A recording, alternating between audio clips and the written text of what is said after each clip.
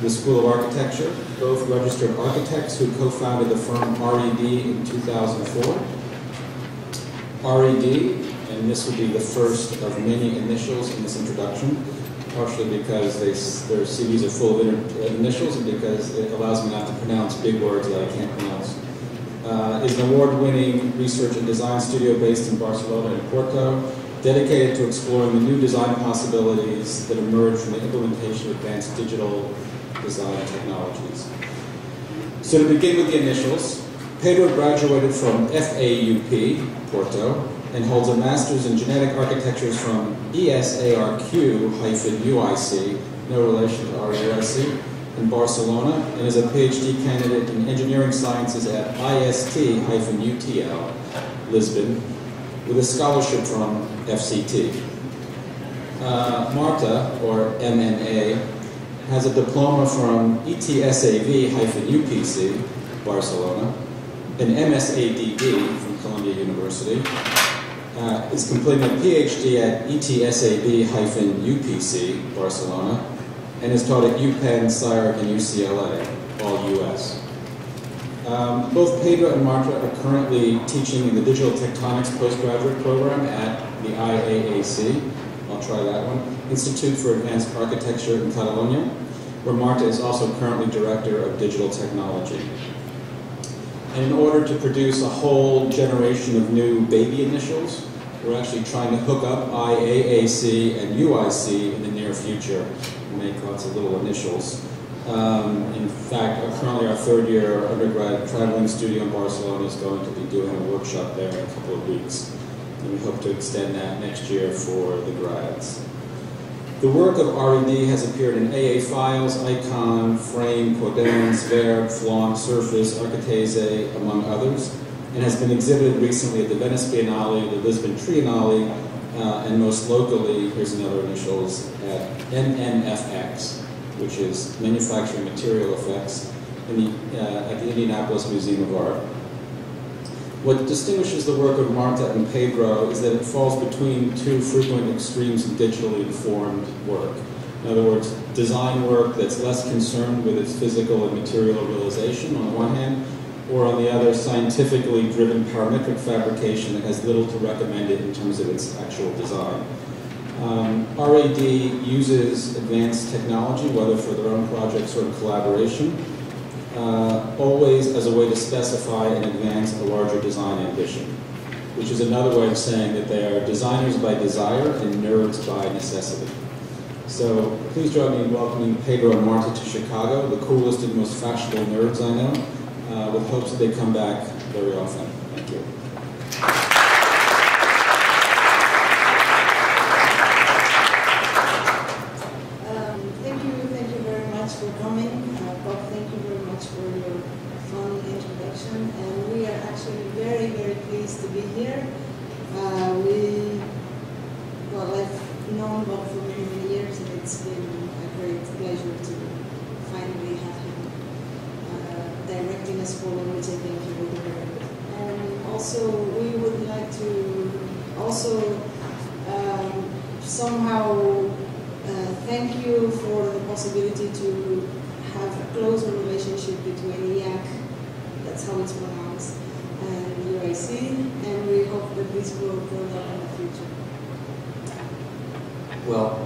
We'll start uh, very briefly by explaining some concepts that are behind the, our practice. Uh, and then we will move into show some projects in the area of research that we have been doing, and finally some projects in practice that we have developed in the, in the recent years.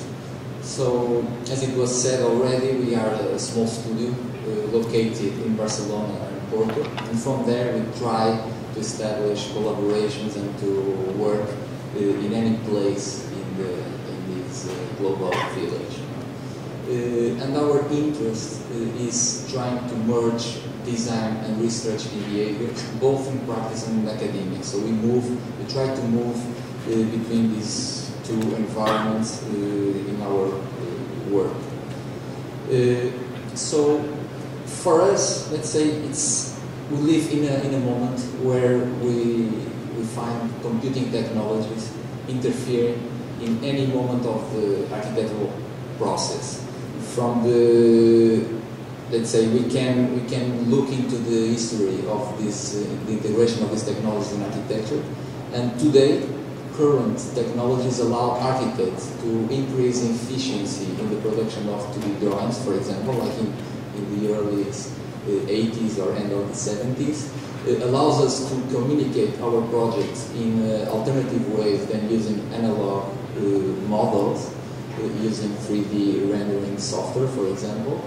Uh, allows us also to think our design projects in different ways uh, by exploring certain kind of techniques uh, and programs like animation, like programming, scripting, etc.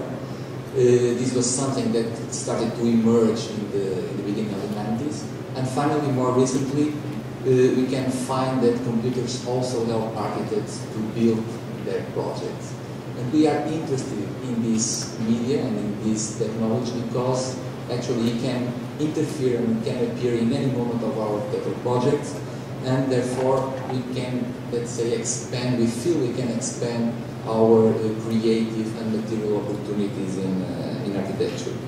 So there is this uh, direct interest between uh, our practice and these technologies, but this also stimulates in us a strong or deep reflection about uh, the meaning and about methodologies that can come out of using these technologies. And when we look at this image, the typical image of a craft activity, uh, uh, craftsman is working ceramic piece with his hands, and what is interesting is to realize that uh, in fact there is no disconnection between conception and fabrication in this kind of process because at the same time his, his man is, uh, let's say, fabricating this ceramic uh, element, he actually can decide and interfere in the design appearance and in the aesthetics of this piece. So uh, fabrication informs design and design informs fabrication. This kind of interactive relationship is something that we uh, find interesting and possible when using digital technologies. The image on the right shows a milling machine uh, using, uh, the, on the left, using, uh, this milling machine is being driven by a digital surface and uh, by selecting different machining parameters, this machine can produce a smooth surface or a textured one. So in a similar fashion, we think that if we are involved in fabrication, uh, fabrication process, although we are using digital technologies, we can start to explore a similar kind of experience and integration between design and fabrication. And this is something that is uh, important uh, in our in our work. So basically, this diagram shows uh, a little bit about methodologies that can come out of, of using these technologies. We can find digital technologies to perform uh, traditional uh, processes, stages in the architectural process, like design, like engineering, like fabrication. Again, we are here a couple of more initials. Uh, and uh, by commuting between them in a non-linear way, we can influence uh, the development of our designs, taking influence from uh, ideas, from the development of our projects, or by material testing, for example.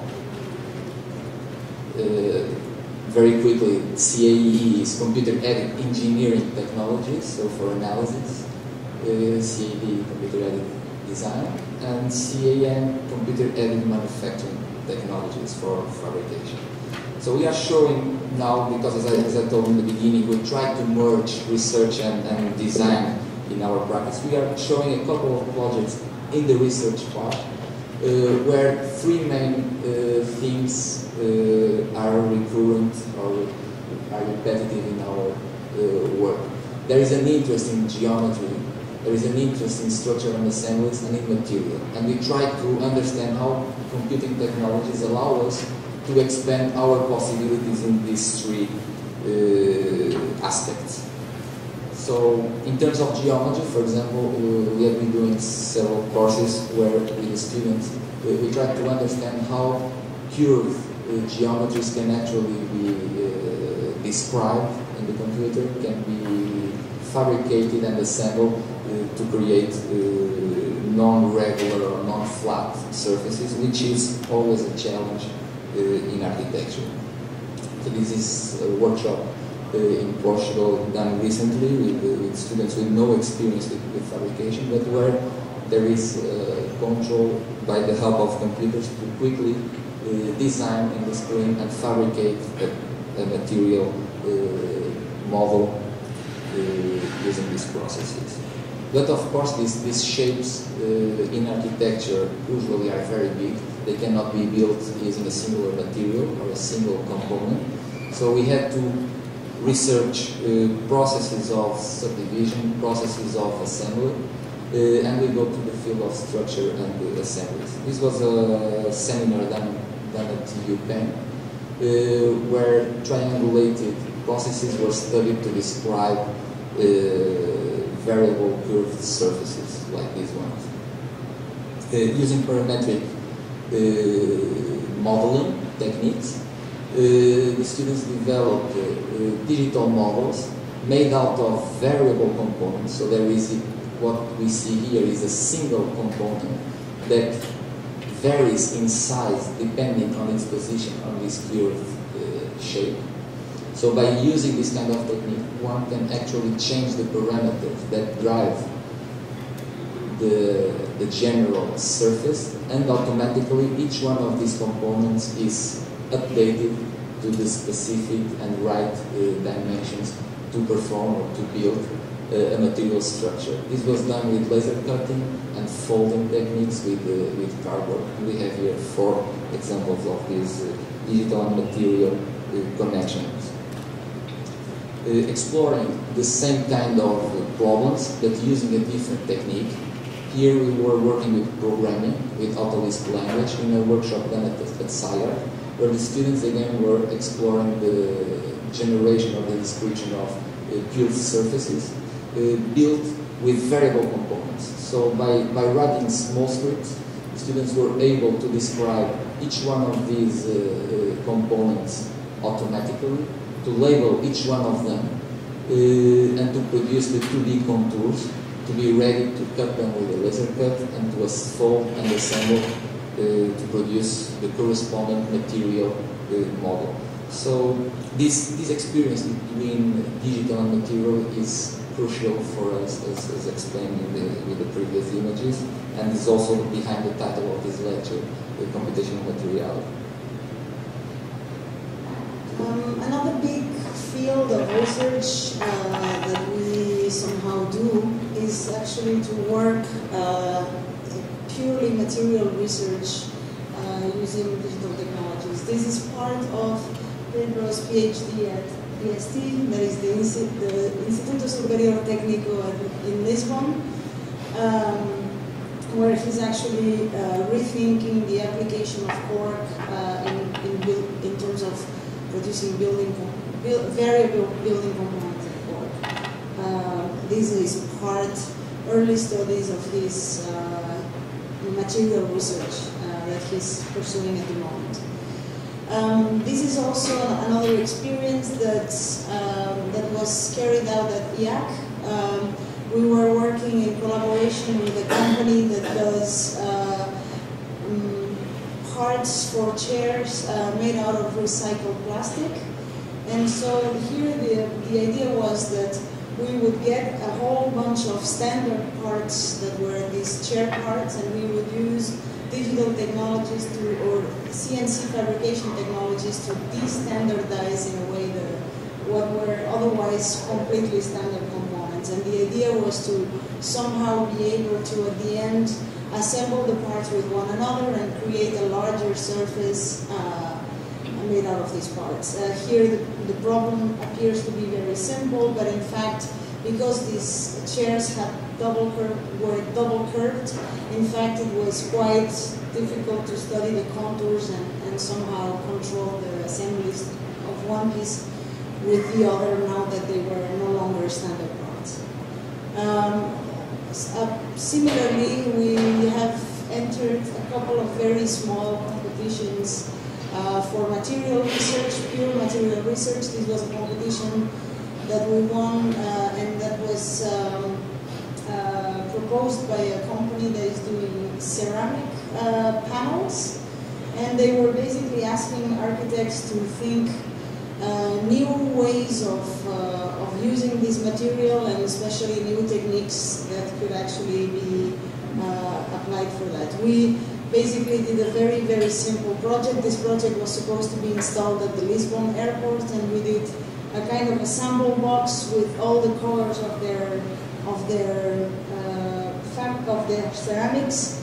And what we studied was basically how to cut differential contours in the ceramics using laser cutting, uh, water jet uh, cutting techniques. This is a little bit our uh, idea of being able to assemble all those parts uh, together. So there were basically only ceramic parts uh, making this, this whole box, and except for the bottom topography uh, that would be made out of MDF. Uh, this was a little bit the idea that we would sample all the colors that they have with differential contours and these are few images of the prototyping that we did, the base, uh, the MDF base all produced uh, on this site, and, and here the beginning of uh, cutting the ceramic parts and putting them together. And this is the final thing at the Lisbon airport, and some shots of the, of the color uh, plates assembled together.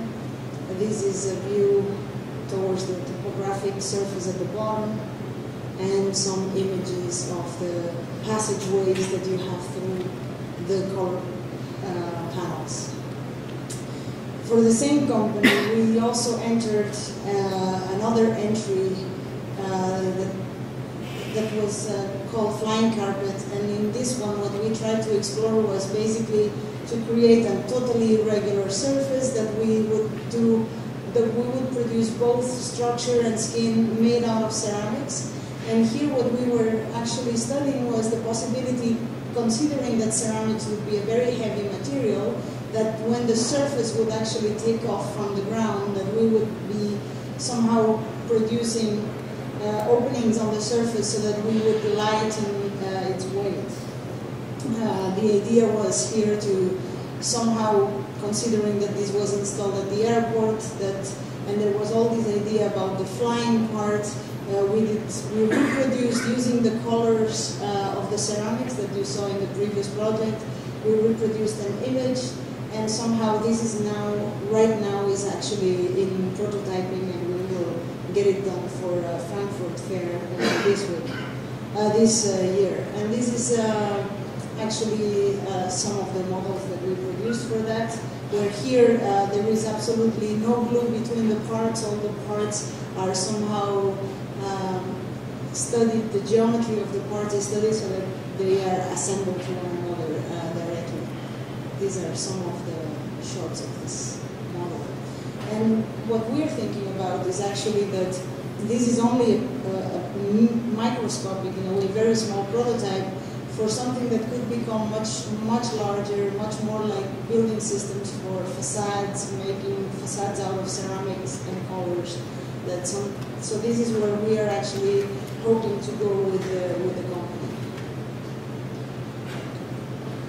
So now moving to the, to the design practice, to real commissions and problems, economical problems, etc. Uh, we will show uh, some of, of, our projects that we did. Some of them are projects that are uh, collaborations with other architects and uh, industrial companies. other projects are independent projects done by ourselves for private clients and for institutional clients. We'll start with the, with the collaborations. This was this is Suret system and it was a collaboration between uh, us, uh, the architects from Madrid, uh, Abalos Herreros, and a concrete company from Barcelona called Escofet.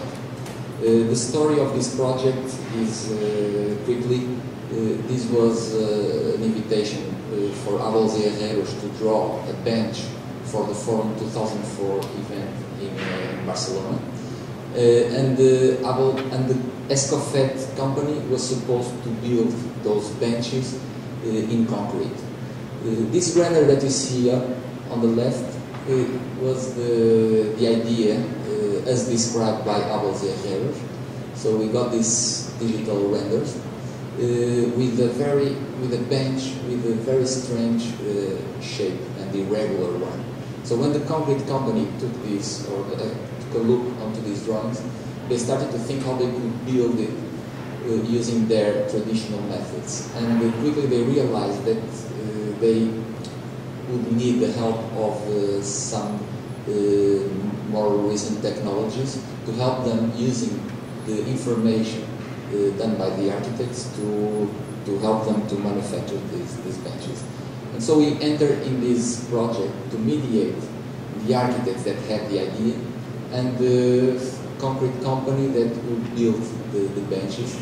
And we were supposed to implement a digital CAD-CAM process uh, to take the digital information by the architects uh, and we had to revise all the geometry of, the, of this bench in order to prepare it to be uh, ready to guide CNC, uh, computer numerically controlled machines uh, to fabricate the molds for this, uh, for this bench. Uh, basically, this bench is made out of uh, five parts, and these parts can be combined in many different ways to create different groups of benches. to to assure right, the right connection between these parts, each curvature must arrive into the joint tangent in order to be able to continue smoothly to the next uh, part. So this was the first problem that we had to, to, to solve in the beginning, to revise the overall geometry of the bench. Uh, but the architects have a second idea about this project. They wanted the surface uh, to be a three-dimensional surface let's say, inspired by this image of, the, of a plan with the fence, they wanted the bench to show some emergent kind of veins along the, the surface. So what we had to do was to find a process to actually create this 3D digital information. Uh, we developed a, parametric model of 2D curves that we were able to adjust and test different configurations. And these 2D curves were then mapped in the, in the three digital surface, not mapped as usually in render softwares as images, but mapped as vectors in space. Because they were vectors, we were able to extrude uh, circles along these lines. Uh, and therefore, and in this way, we were able to produce these tubes that were emerging out of the overall surface.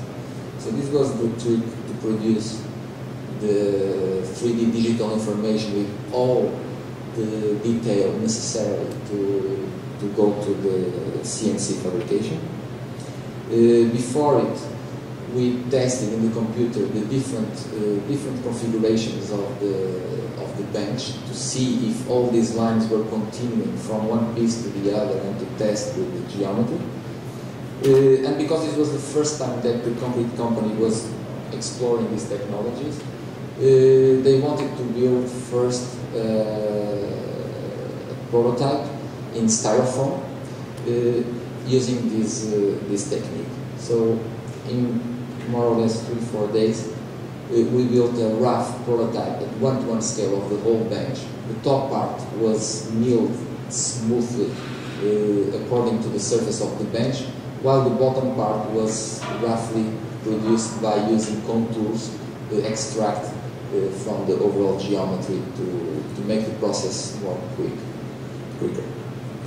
Uh, when this, uh, this prototype was produced, everybody, both architects, concrete company, and ourselves felt comfortable to go ahead with the production of the final positives for the company to produce the molds. Uh, this, in this case, we had to use a 5-axis milling machine to, to, be able to mill the, the bench in one single uh, operation. Uh, and here we were using a different material, we were using high density uh, polyurethane foam in order to describe very precisely the, all these uh, in the surface. So here we were like having a look at the final result. And with these elements, the, the concrete company was able to start the mass production of, of these benches. Uh, the appearance of these benches change because they try different pigmentations. So the bench uh, uh, appears in yellow, gray, and red color. And they, as they are done in, in concrete, they are very heavy elements so that they could put them in the in the gardens and nobody could take them out of the garden.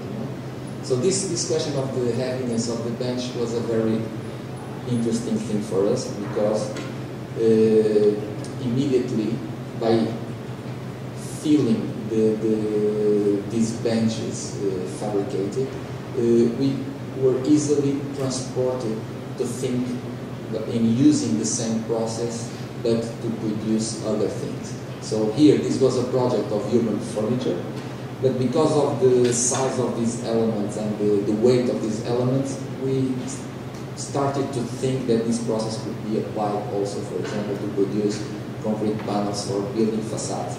So this experience actually uh, made us think uh, wider than this simple uh, project of, of urban furniture. And as you can see here, let's say all these lines continue from one piece to the other and the tangent condition between the elements allows us to uh, combine any of these five pieces in the order that we, we wish. Uh, in the same kind of uh, works of collaborations we did uh, other works. This was one done for architects called Habitat, Habitat Actual from Barcelona that they were doing the renovation of a medical center and they asked us to uh, design uh, this uh, acrylic wall that was dividing the waiting area from the doors to enter in the doctor's office. So this is a, a variable wall made with acrylic panels and we developed a texture that was milled directly in the, in the acrylic panels to produce a continuous texture from one panel to, to the other. Uh, another example of, of uh, collaboration was done last year with this theater company called La Fura dels Baus for a, a, project, for a, a show that they started in May last year called Imperium.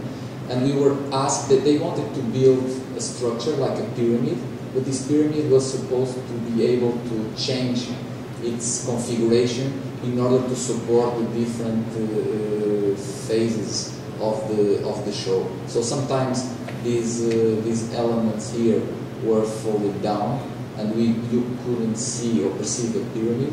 But then these elements could, let's say, change position. You could combine all these units between them to create different uh, uh scenarios and conditions to support the the show. So here we enter to think, to help them thinking in this structure and to, to design and fabricate them. Uh, another kind of uh, projects that we do, uh, besides the collaborations with architects and, and, industrial companies and so on, are obviously private commissions. Um, so this is the case of uh, Moorslight, uh, this apartment renovation that we did in Barcelona we were basically asked to renovate a very, very small apartment. Uh, that is basically, this was the existing plan. Uh, what was happening was basically that you would enter in the apartment and you would be in this corridor with doors on your right and on your left. Finally, you would get to turn the corner of the corridor to get to a very small living room, and here there was a kitchen with a dining room and so on. So what we proposed, obviously we could not make the apartment larger, but what we proposed was, first of all, we would demolish the dining room and connect it together with the, with the living room, but also we would treat uh, the whole corridor and living room, we would treat it in, in a kind of continuous manner, and we would do so by wrapping also the kitchen and bathrooms uh, together with a kind of continuous skin. So this would, this object, this would uh, begin to read as an object that was actually uh, located in, in, in, this kind of continuous space. Also, we, we moved uh, one of the doors uh, of one of the rooms, we actually moved it from here to here so that we could have a bookshelf with books so that somehow the, the corridor would disappear or would be now activated by the fact that there was this uh, bookshelf in the. Uh, here the problem was kind of when we when we were dealing with how to produce this continuous scheme for the box, um, then in a way, uh, one of the decisions was uh, let's treat, uh, let's replace all the doors on this side of the corridor for sliding doors so that they will be part of this continuous scheme. And now the problem is a little bit more, let's say, complex than the bench, because in the bench, for instance, we had five cards that could be combined with one another, but in fixed positions.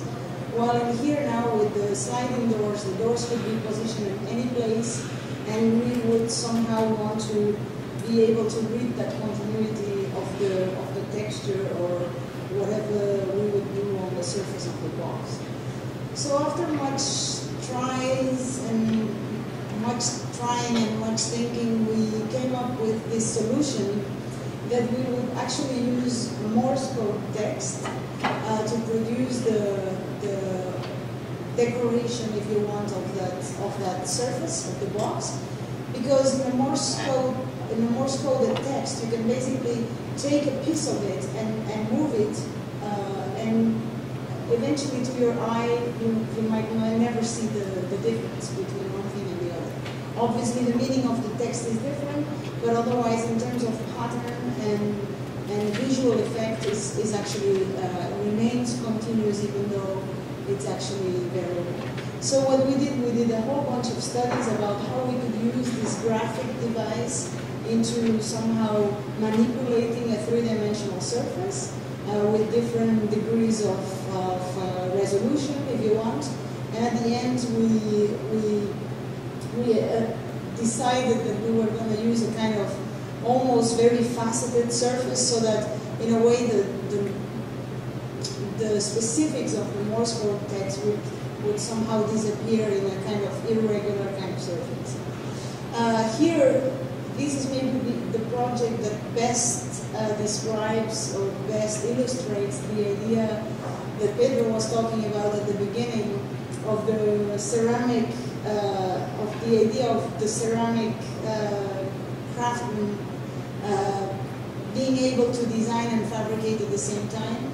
Because here, once we had the three-dimensional surface that we were going to use, we actually began to do a whole bunch of tests of how to manipulate the, the parameters of the CNC at the milling machine so that we could actually achieve different effects. And these effects that you see here are actually results of altering those parameters rather than a different design surface in the first place. So a lot, a lot happened, in fact. A lot of decisions were taken at the fabrication level. And obviously one of the most important parts for us was how are we going to go from one plane into the other in the corner of the box. And we wanted that texture to be totally continuous and not stop uh, at the edge of the box. Uh, here we are fabricating all those panels uh, and actually uh, also uh, being part of the installation team in the apartment where the carpenters actually only came to help out the very last moment, otherwise we did everything in-house. And here is a little bit the demonstration that what we were talking about before about this Morse code text, about the fact that when you move these sliding doors, eventually you, you perceive that, that uh, texture, you perceive it still in, in a kind of continuity, even though sometimes you have discontinuous events happening, but nonetheless, most of the times you read it as something continuous. Um, this is the, the Morse light panels installed in the apartment. This is what now you see from the entrance. The corridor is now, uh, you basically pass between this box and the bookshelf that is there. And very important for us is this detail of the corner of the box where you see the, the texture uh, being uh, somehow turning the corner. Now the corner is all eroded, and somehow this, the line of the edge now has disappeared in the in the texture. Um, that's that's how it feels when you go through. You arrive now at the dining room, oops, dining room, living room that is now all connected. Um, this is looking back towards the dining room. Now here, behind this uh, surface, we have the kitchen and the two bathrooms. Uh, that's when you basically open the sliding doors. Uh, they are still there as they were before. Uh, and here we are uh, facing now the other way of, of the apartment towards the entrance. Uh, we also do a lot of other design projects. We've shown maybe the one that best represented this idea of computation and materiality.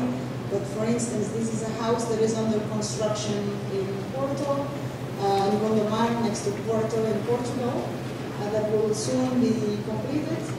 And inside of that house, we are doing uh, kind of very large uh, shelf that is more like a kind of installation because it will basically occupy a double height space that is in the middle of that house and will somehow ex, uh, yeah, uh, get out of the house or exit the house through a kind of uh, uh, skylight that is also in the in this double uh, double height space.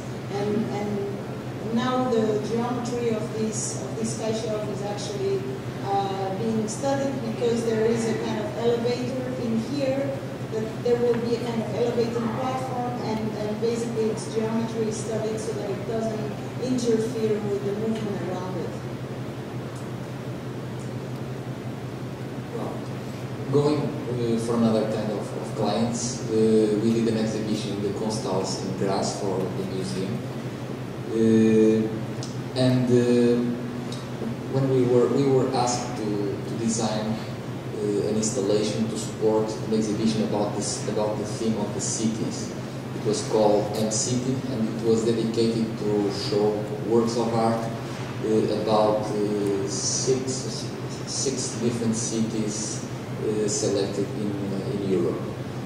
For us, this was a challenge. This exhibition, by one hand, due to the scale of it, there were about 30 artists showing uh, many different kinds of works of art, from paintings, photographs, models, uh, video installations. Uh, and on the other hand, we were challenged by having to do something inside of this uh, building uh, designed by Peter Cook and Colin Fournier. Uh, for us, it was the first time that we entered to, to this building. It was like a shock to perceive that from the outside, this building was uh, uh, curved, very smooth, blue, shiny, uh, with all these lights. Uh, and on the inside, it was like the opposite. What was acrylic became uh, metal, the blue became gray, uh, natural light became artificial light, so it was like very uh, shocking feeling. Uh, and when we visit the interior, we found these two, there, there are two uh, levels. Uh, on the left side is the, is the first level, which is a little bit strange because we have all these curved element, and then the first floor art is like two cuts on this curved shape, and we have a homogeneous space in terms of height with all these 600 uh, fluorescent lights placed in a regular grid. Uh, on the second level, uh, here, uh, finally, we started to perceive the curvature of this building, where walls and ceiling were a continuous kind of surface, and this surface was populated with these skylights that were bringing artificial light to the, to the interior.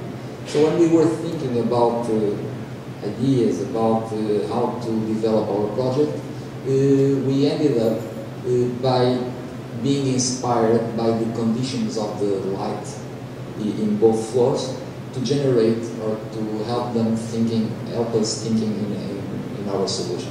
So basically this render shows the two uh, installations that we developed here. Flagscape on the first floor consists in a kind of an inverted topography that is suspended from the fluorescent lights in the ceiling. And in the second floor we have complex installation, which is a set of six cones that are suspended also from the lights uh, in, the, in the skylights of the, of the ceiling. So we'll start to, to show the, the installation in the first floor. Uh, as we saw before, this is the what we get when we, we are in this in this floor. We have all these lights, and our idea was to take these lights and to produce something that could vary, something that could bring some of the curvature that one could perceive from the exterior into this floor where we almost don't see any uh, curvature. Uh, our first intention was to uh, take each one of these lights and to lower down individually in, in uh, different uh, heights. Uh, but in that case, we had to build like metal supporters for each one of the lights, and it would be, like, let's say, very difficult to do it. And uh, for sure, we wouldn't have the support of the electrician of the Kunsthaus to help us doing this kind of installation. So we thought in doing the opposite, to keep the lights on the ceiling, but to suspend uh, an element with different lengths from each one of the lights. So we thought about fabrics, we thought about transparency kind of conditions, uh, but it should be something easy in order to be able to manage all these uh, amount of variable uh, elements. Uh, in order to design and to fabricate this, uh, this structure, this installation, uh, we looked into several digital design techniques to be able to model a non-regular uh, curved surface. We found very easy to model it in many softwares, but because we were forced to change our uh, solution through the time, uh, we had to look into a flexible method that allowed us to design this curved surface, but then allowed us to change it uh, in an easy way. Because for us, let's say this idea of putting a curved topography in the ceiling, we didn't want it to be a random topography. We, we wanted this topography to respond to the organization of the works of art in the, the displaced in the placed in the ground. So when we look at this plan, what we see is are the six different thematic areas, uh, and from each one of these areas, we can identify the center, the geometric center of each one.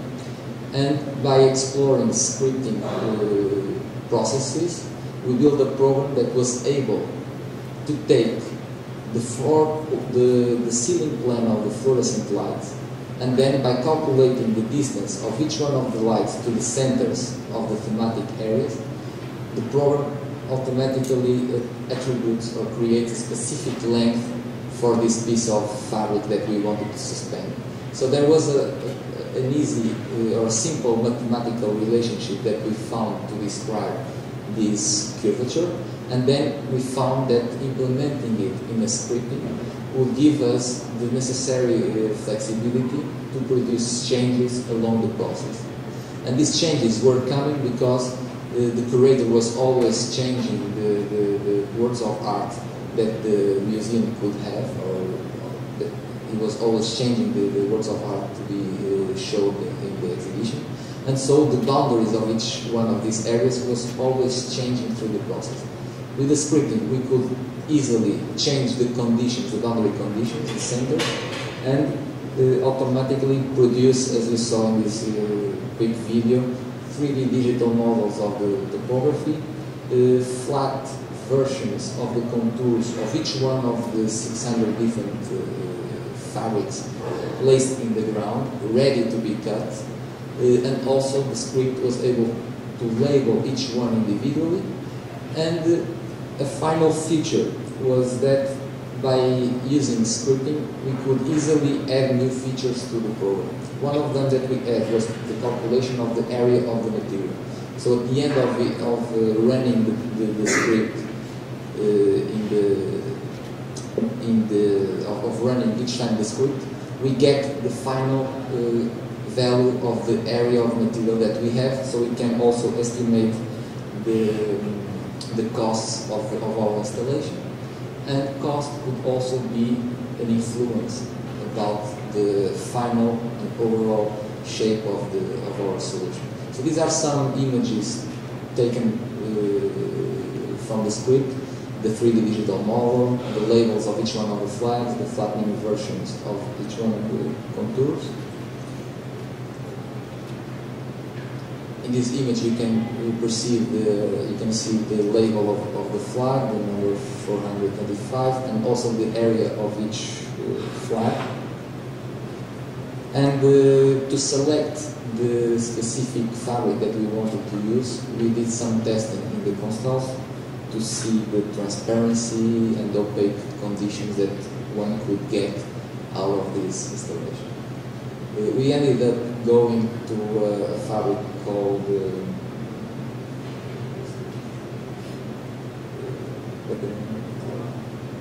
Wow, uh, which is a translucent kind of fabric. And uh, this was cut in Germany using a very large CNC uh, cutting laser cut machine that usually was used by this company to cut uh, boat sails and in this case using this machine in two days they were able to cut all the 600 different flags.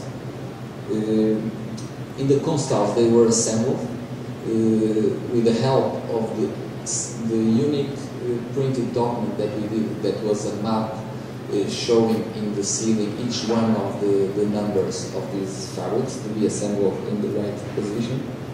And this is the, the final uh, installation.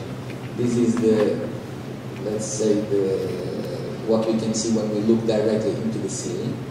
Uh, we see total transparency to the ceiling, but when we are actually going or visiting the exhibition, we started to perceive different kind of uh, transparent and opaque uh, conditions. For example, here one can realize the topographies that were created by the script uh, involving a, a, specific thematic area. Again, another one over the landscape uh, show. But when we look in this direction, for example, one perceives transparency. So the, the effect is always changing when one moves uh, through the space these two images show And this is the, the ramp, the escalator that takes the visitor to the, to the second level, where we do the other installation that Marta is going to explain. So the, on the second floor of Kunsthaus, uh, the same way that we were given instructions on the first floor to somehow organize the work of 30 different artists, on the second floor we were given instructions that we would need to produce six projection rooms because uh, the, exhibi the exhibition curator wanted to show six movies on six different cities. So looking at this space, we were given very specific instructions about the fact that they should be completely closed and completely dark.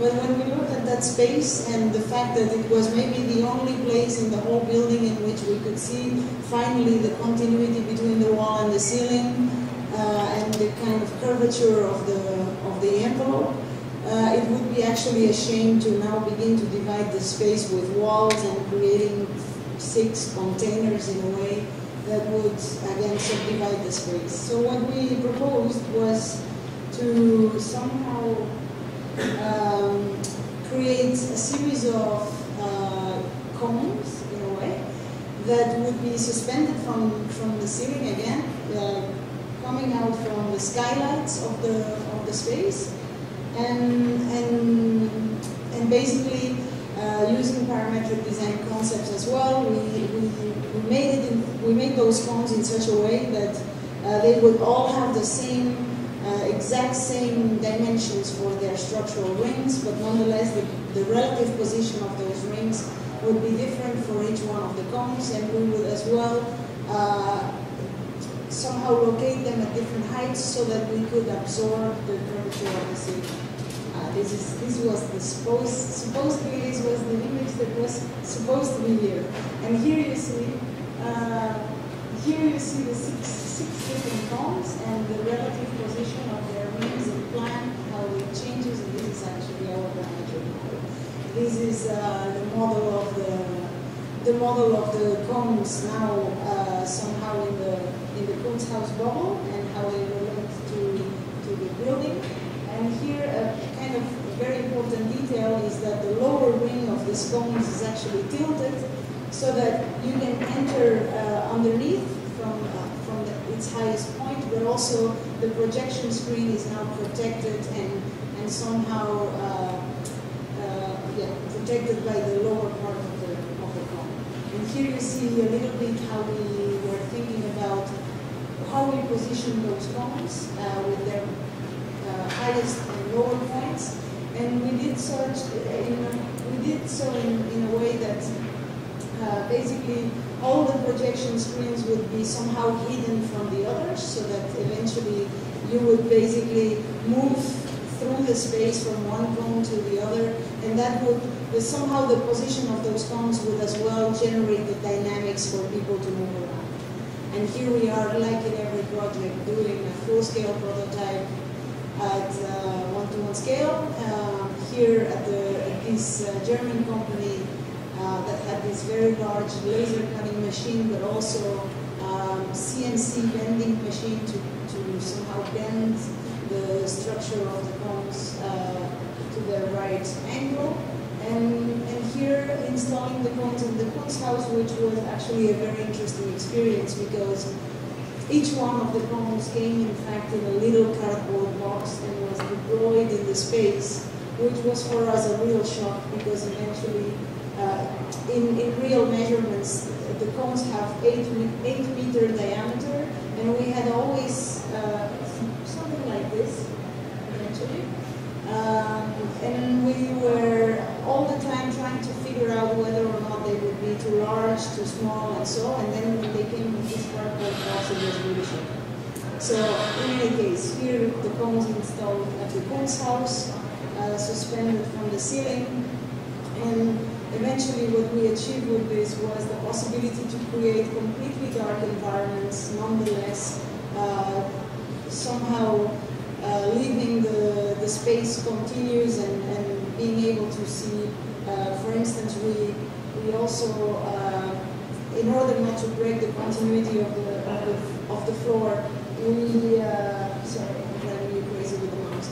Uh, we actually printed all the information on the cities on the floor, and eventually that we had only a little bench under the cone so that you could sit down and, and actually see the projection. Here you see how the projection is actually protected by the lower part of the cone, and how the projections are actually hidden from one another. And here the, the basically the, the, the possibility to be in a completely dark environment nonetheless in a completely open space. And uh, the feeling of looking at the screen.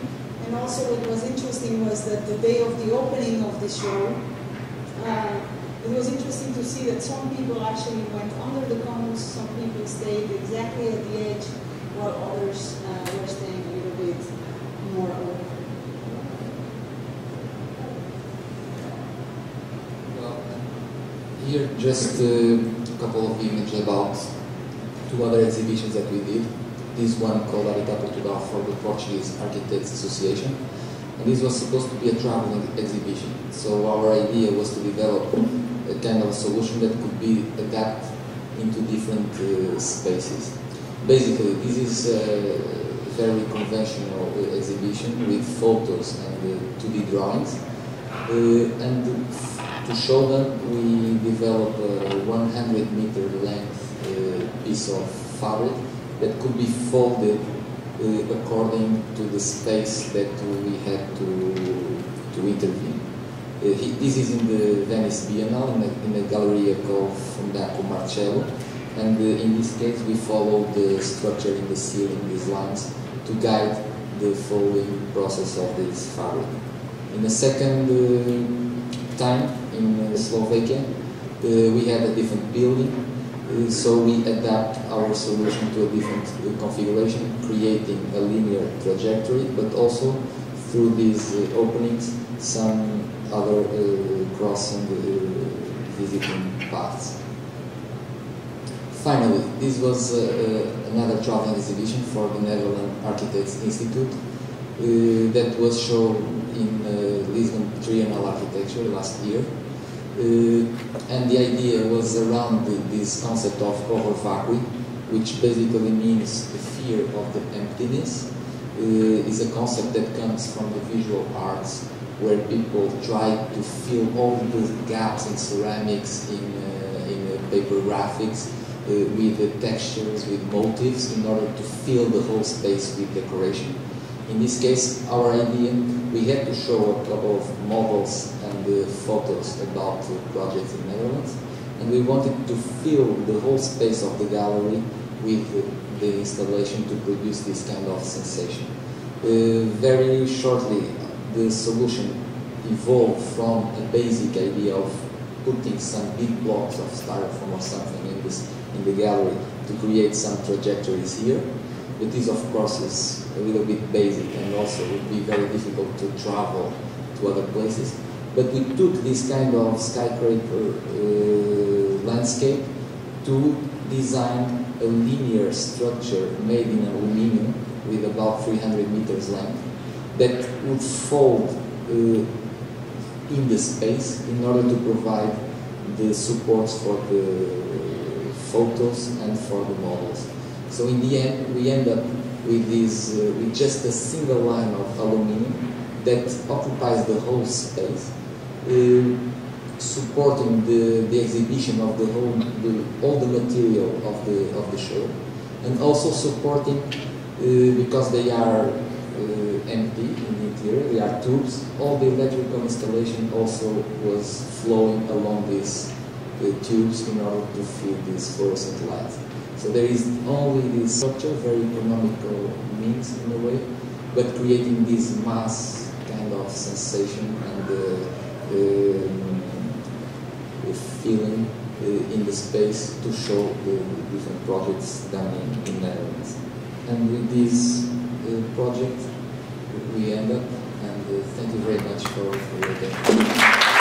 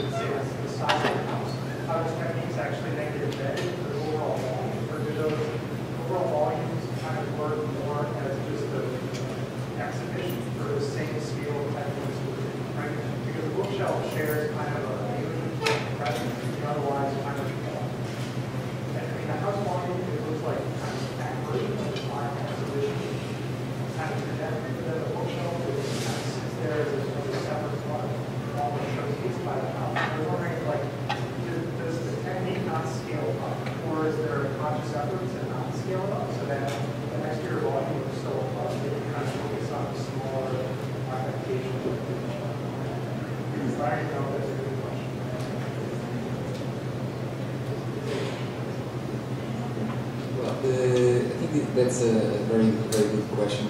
Uh, in this case of the of the house, the house design project actually is a, is an old uh, project that started like in 2002.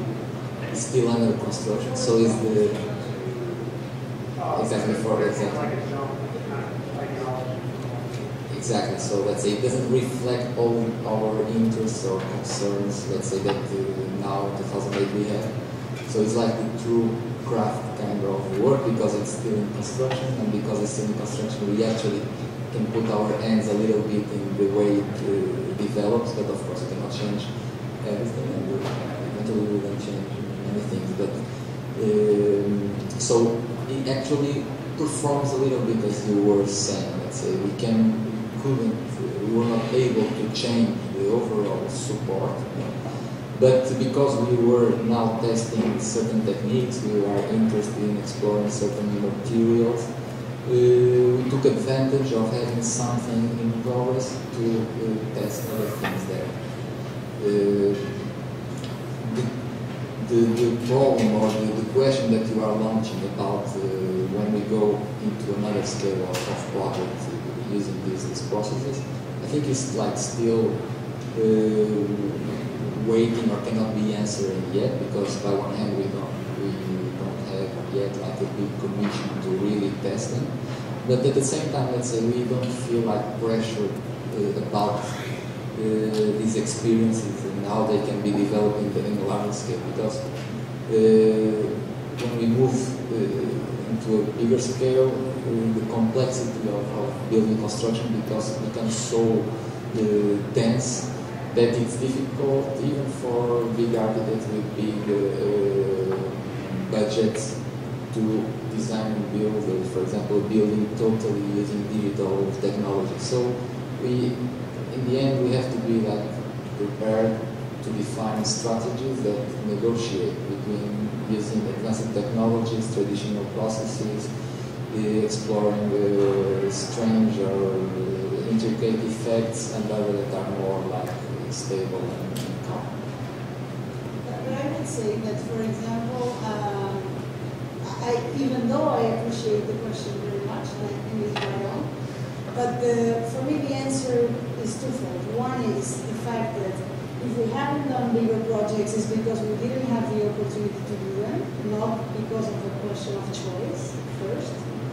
Uh, so it's not that we prefer smaller scale and therefore that's what the scale that we are interested in, but actually we would prefer uh, eventually to have larger projects too. But we uh, we did this installation at the Kunsthaus that is actually a 3,000 square meter project, so it's a huge project for an installation. Uh, but then we did that and eventually people liked it and since then we've been uh, commissioned a lot of installations in fact and so uh, it's difficult always this question. But besides that, uh, and that's, The second part of the, of the answer is that, for example, in the Kunsthaus Graz, it's clear that when we operate at a scale of 3,000 square meters, we are actually, and when we, by the way, we also operate with economic constraints that are completely different from a small project uh, that, for instance, depend on sponsors, depend on a lot of other things. But also we have a curator that is actually trying to get 30 different artists because the Kunsthaus doesn't have a permanent collection. They basically have to go and shop around for different projects from different galleries, different owners, etc. So the, the, the program was actually all the time in 100% fluctuating between uh, during the whole process. So we have a fluctuating program, we have a fluctuating budget, and we have basically a huge amount of space. And so in that sense, then we obviously thought that the scale of operation of the digital technique in that case was to provide a kind of flexible design tool that we could in fact address those issues at that scale for those kind of economics, that kind of client, etc. And then maybe eventually texture pattern and something more of the detail, more of the material per se was maybe less important. But we we achieved material effects by by producing lots of lots of parts a way. So they operate at a different scale. Does it almost work better when, it, when it's at that scale contrast against the back? I mean, like the thing about the, the install exhibition, there is an existing condition, and they kind of work with it as a particular uh, dialogue or communication that actually makes it better. So I think like the same with the bookshelf, like if we didn't have something to crawl out of, if the rest of it was like the bookshelf, right? And then part of it kind of uh, makes you be wild, like if that is actually trying to get out. You wouldn't actually have that kind of visible effect if the rest of it was more accommodating development, so the kind of artifact that is. So that's why I was wondering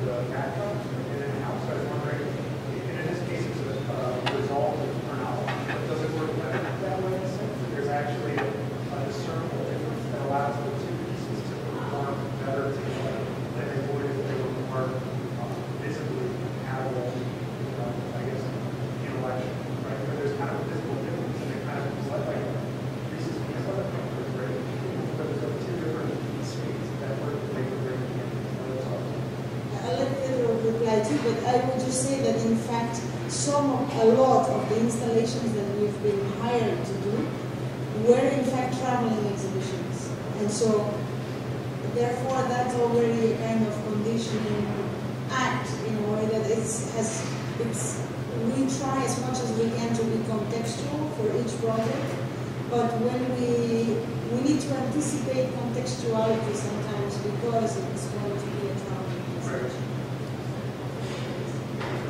Just uh, to say that, that uh, this kind of confrontation, uh, let's say in this case of the house, it, uh, it was suggested by the language of the house and certain things that we could produce uh, could be interesting to explore this confrontation, but um, I think the, the solution can change in each, in each situation. It's like uh, building in uh, historical conditions where one could think that the best solution is to build something totally new that by confrontation uh, highlights the existing uh, uh, uh, constructions on the opposite direction the new building also is highlighted by the situation or one can choose to make something that continues the existing building.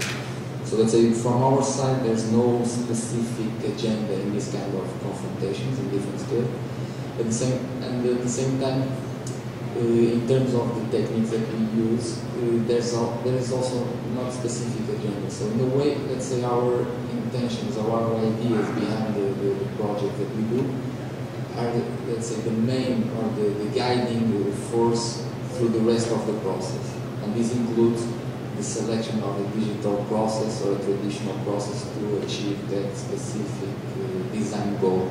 So in all these projects, there is programming, there is Rhinoceros, there is AutoCAD, there is Photoshop, there is uh, manual aluminum cutting, there is everything uh, just to uh, support the, to reach a specific design goal that can be confrontation, that can be camouflage, that can be say, many different things depending on the situation. So in that case, we are that every product we start uh, thinking it uh, uh, not from zero, no? because there's also there's always a background that we don't like to feel tied to specific design or technical agenda